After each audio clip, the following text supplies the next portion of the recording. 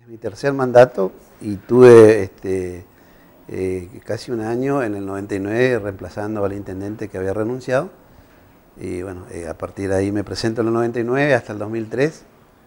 Después vuelvo en el 2011, así que terminando esto, tercer mandato. ¿Fue concejal también? Fui concejal del 95 al 99 y como le decía, en el 99 por renuncia del intendente asumo la intendencia y bueno, me presento a las elecciones, ganamos esas elecciones estuve hasta el 2003. ¿Cómo está hoy Garuapé? Garuapé está muy bien, este, gracias a eh, una gestión que venimos, que arrancamos en el 2011. Eh, nosotros desde el 2011 para acá hemos equipado nuestro municipio como nunca, desde la vuelta de la democracia para acá se equipó. Hicimos una fuerte inversión en el parque vial. Eh, nosotros tenemos un municipio muy extenso que es más grande que Puerto Rico, Capioví, Ruiz de Montoya y León y Junto en su extensión. Entonces mantener los caminos, que son muchos, este, nos demanda este, mucho dinero en un momento muy complicado que, que vive nuestro, nuestro país. Nosotros como provincia no escapamos a eso y muchos de los intendentes estamos con ese problema. Es decir, mantener servicio hoy es muy costoso. Uno de los principales problemas es el combustible para esas máquinas viales, ¿no? Sí, el combustible hoy es el que marca un poco eh, eh, la economía de nuestro municipio. Si se basa exclusivamente, nosotros eh, tenemos mucho gasto en lo que es el combustible, producto de esta inflación que, no se corrige, la capitalización tampoco no es que en este último tiempo ha venido siempre igual. gracias también nosotros al apoyo que tenemos de nuestro gobierno, de nuestro gobernador, de nuestro vicegobernador, la verdad que eh, hoy este, con esta economía vivimos de una moneda que no es la nuestra, que es el dólar. y si cada semana eh, nos encontramos con, algo nuevo, es en ese pacto fiscal que se firmó, eh, que firmó la provincia, nosotros no podemos aumentar más del 23% las tasas en lo que va del año. Ya en este primer trimestre prácticamente creo que el 12, el 13% de inflación.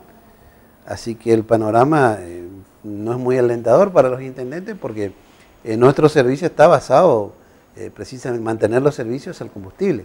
Eso es algo de lo que decía el primero de mayo el gobernador de la provincia. Hablaba de, que la provincia recibe mucho menos plata de la que manda Buenos Aires. Y ahí se refería al pacto fiscal que eh, también hizo perder dinero a nuestra provincia. Un caso concreto es el de los municipios. Usted decía este año, por la firma del pacto fiscal, no pueden aumentar más de 23% las tasas cuando se estima que la inflación va a ser de 40%. Sí, bueno, eh, por ejemplo, la provincia hoy se está haciendo cargo eh, de muchas este, eh, cuestiones que tenían que ver con la nación. Uno de nosotros hemos perdido muchísimo con el Fondo Solidario de la Soja. Ese era este, un fondo que nos venía muy bien para equipar nuestro parque vial. Es decir, hoy los pequeños municipios como el nuestro o medianos, prácticamente eh, comprar máquinas eh, eh, nos tenemos que olvidar porque ese fondo ha desaparecido. Claro. Y bueno, y la provincia se está haciendo cargo de muchos. Este, nosotros hemos recibido el año pasado cuatro cuotas en compensación de lo que era el Fondo Solidario. Y hoy ya no existe, así que es de preocupación. Aparte, la economía, no hay una estabilidad económica. Hoy es incierto lo que puede pasar de aquí a 30 días o ni hablar de aquí a fin de año. Eh, lamentablemente ese es un, eh, un problema que tiene la nación que no corrige esta inflación y que golpea a los municipios, golpea a los trabajadores, a los que menos tienen. Y hoy eh, los intendentes recibimos mucho más este, pedido de los vecinos porque lamentablemente la situación les lleva a venir a la comuna a pedir asistencia. ¿Asistencia que en alimentos? En alimentos, este, por ejemplo, en el caso de enfermedad, medicamentos, eh, algunos plantean que no pueden pagar la luz, que no pueden pagar el agua, y eso no ocurría anteriormente. Y hoy, lamentablemente, a diario la gente viene al municipio a plantear esas situaciones, y hay situaciones que nosotros podemos resolver. Pero este, atender eh, hoy la necesidad de toda la gente que nos demanda es prácticamente imposible. ¿Hubo mucho desempleo también en su municipio o no? No, por suerte no, pero las economías regionales están muy golpeadas. Y hoy eh, gracias a Dios, nuestro sector, por ejemplo, por, darle un, por darte un ejemplo, Garuapé es uno de los municipios donde eh, debe haber la mayor cantidad de, fábricas de cerámica de ladrillo. Eh, tenemos una de las más importantes. desde el 2015 para acá, prácticamente viviendas este, ha caído, ha caído la, construcción, así que no tienen a quién venderle. Claro, y bueno, ahí en ese sector se nota este, la disminución del trabajo, eh, el agro tampoco está pasando por un buen momento, así que son cosas que, están muy ligadas y que eh, para colmo, eh, y, voy a ser reiterativo, esta inflación que no se corrige, hablábamos del año pasado, se hablaba de un 25% y terminamos en un 48%, hoy el año pasado nos decían el 23%, y bien decía usted que prácticamente vamos a llegar al 40%. Y esos son recursos que, que nos llegan al municipio, que nos complica para poder mantener los servicios y tenemos que pedir que los vecinos nos acompañen porque si no dentro de poco eh, se va a hacer casi imposible mantener los servicios. Va a ser, este, o es mejor dicho, candidato a diputado de, la provincia. Le toca hacer ahora campaña ya no solamente en su municipio, sino este, ir a convencer a, los misioneros de diferentes puntos de misiones del por qué deberían votar al oficialismo provincial. Entonces yo le pregunto por qué los misioneros deberían votar o seguir votando eh, al oficialismo provincial. Bueno, eh, en esto eh, se da este, una discusión con nuestros adversarios políticos, que hoy es este, Cambiemos.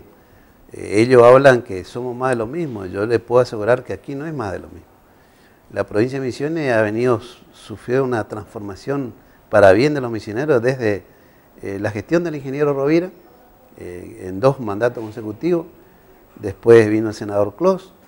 Ahora nuestro actual gobernador, eh, este, licenciado Hugo Pasalaco. La verdad que la provincia ha cambiado muchísimo. Con, basta solamente salir, recorrer el interior de la provincia, eh, nos vamos a encontrar con escuelas nuevas, con hospitales nuevos, con empedrados en muchos de los lugares donde antes no existía y que este gobierno ha estado siempre cerca de la gente.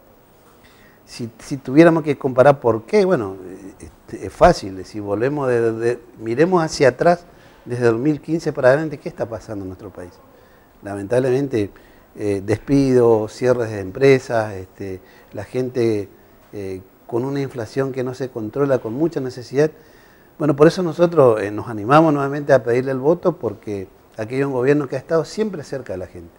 Un gobierno provincial que hoy asume responsabilidades que tienen que ver con la nación y que está llevando una provincia eh, eh, eh, por el buen camino. De hecho, nosotros hoy somos, estamos entre la séptima o octava economía del país, producto de un gobierno prolijo, un gobierno que, viene haciendo bien las cosas, que por supuesto faltan cosas por hacer, pero nuestra esperanza, y, creo que ser así, con nuestro próximo gobernador, el doctor Herrera Watt, va a continuar con este, con este proyecto político misionarista que tiene la renovación, que es estar del lado de la gente, resolver los problemas en la medida de sus posibilidades y yo creo que ese es el camino por el cual nosotros nos animamos nuevamente a pedirle que nos acompañe. Justamente desde la oposición, y se ha notado en, la palabra de algunos referentes el primero de mayo, eh, se hacía hincapié en eso, en las cosas que, a pesar de los años que gobierna la renovación, todavía faltan en la provincia. Eh, por ejemplo, se hablaba de la falta de agua potable en, muchos municipios o de cloacas. ¿Qué respuesta desde la renovación se, entrega a eso, digamos? Mire, yo le puedo asegurar, eh, en nuestro municipio, problema de agua potable no tenemos. Eh, si hemos resuelto junto al gobierno de la provincia el tema del agua potable. Eh, si que hay necesidades, este, eso lo sabemos todos, pero aquí también hay la responsabilidad de un gobierno nacional que prácticamente en las comunas, en la situación que estamos, mucho no podemos hacer. si la inflación se viene comiendo la coparticipación, eh, se come el salario de los trabajadores. Así que, mire, hay un, dato que quiero dar porque eh, la oposición critica eh, este, la, ley de lema. En nuestro municipio, nosotros tenemos cuatro candidatos por el Frente Renovador y siete son de Frente para el Cambio. Ahora, si, fuera tan malo, ¿por qué tienen tantos candidatos? Es decir, acá hay un contraste con la realidad misionera y lo nacional. Esta es una provincia prolija. como le decía, tenemos un gobernador que, que trabaja, que se ocupa nuestro vicegobernador, siempre del lado de la gente. Y del lado de los intendentes también. Porque muchas de las cosas que nosotros no podemos resolver en los municipios están en los estamentos provinciales. Vialidad provincial, el IPRODA, el Ministerio de Salud, Desarrollo Social. Eh, son este, eh, ministros y funcionarios que siempre están escuchando a los intendentes y juntos estamos resolviendo pequeñas obras que prácticamente desde el 2015 para acá han desaparecido. Viviendas del IPRODA, por ejemplo, prácticamente no existen. Cayó la construcción también producto de eso, de que viviendas prácticamente en los municipios no existen más. Hoy estamos trabajando con el IMPROA gracias a, a las viviendas misioneritas, pero viviendas de mampostería prácticamente han desaparecido. Eso afecta nuevamente muchos municipios que fabrica ladrillos, entre otras cosas, digamos. Sí, sí, eso afecta directamente y bueno, eh, eh, también eh, las economías regionales, como el campo no está pasando por un buen momento, nosotros tenemos en nuestra zona una fábrica de almidón de mandioca, se está instalando en Galopeo una fábrica de farina de mandioca que es la única del país. y todos productos que hoy este, no tienen un buen precio y tienen un costo adicional, porque ¿qué pasa? Acá, por ejemplo, aumenta la energía, Dice, no, EMSA, eh, nos quejamos de EMSA, pero eh, son medidas que se toman a nivel nacional y que impactan negativamente en la economía, en las empresas y que tienen que ver con un componente nacional. Aquí lo que está haciendo eh, la empresa Electricidad de Misiones es trasladar lo que Camesa hoy le está cobrando a la provincia. Así que en ese contexto, bueno, nosotros pedimos una vez más que, nos acompañen. Este ha sido un gobierno que, que ha hecho muchas cosas por los misioneros y que el compromiso es ese, seguir trabajando eh, del lado de, esa gente que hoy necesita y hoy desde este espacio nosotros garantizamos de que vamos a seguir trabajando eh, para el bienestar de los misioneros.